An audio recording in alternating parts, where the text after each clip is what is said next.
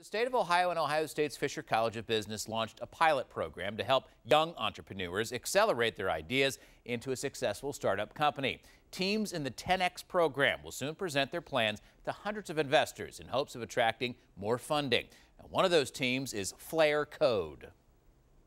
Flare Code stands for Flexible Light Augmented Reality Everywhere. Nicholas Salante and Ian Bousman Henderson are magazine journalism majors at Ohio University in Southeast Ohio. They have an idea that could transform the print industry and beyond.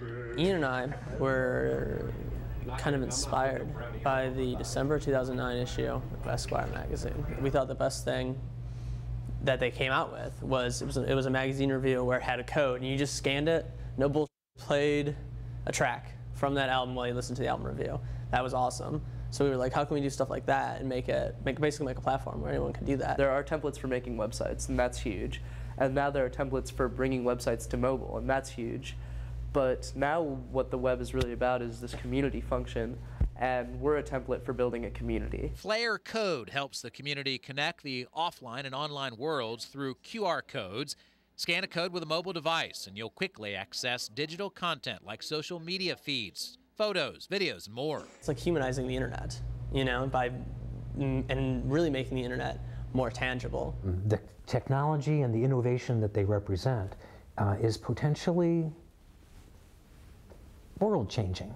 Some analysts have predicted that the you know offline to online and online to offline space, that O2O space, is a trillion dollar opportunity coming in the future. But first, the Flare Code team must come up with a successful business plan. That's why they applied to the 10X Accelerator program. 10X has been really helpful in just getting us in front of people. I think that's been the biggest thing. They've done a lot of we've gotten a lot of insight from people that have been in it before, but the coolest thing is just being in front of people that have actually done it before. One of the things I've been advising them on is really taking a step back and rather than looking at it from a technology perspective. We definitely have always learned from our mistakes because there's nothing to do except keep moving forward. Flare Code is already working with its first clients, a partnership between an Athens television station and OU student newspaper. There's going to be a code on the front page of the post that you can scan, and not only will you be getting all the news content from WOUB, as it happens, whenever they put it up on the internet, you're going to get it right on the paper, but you're going to get breaking news that comes out after the paper through Twitter, through blogs, all that opinion articles.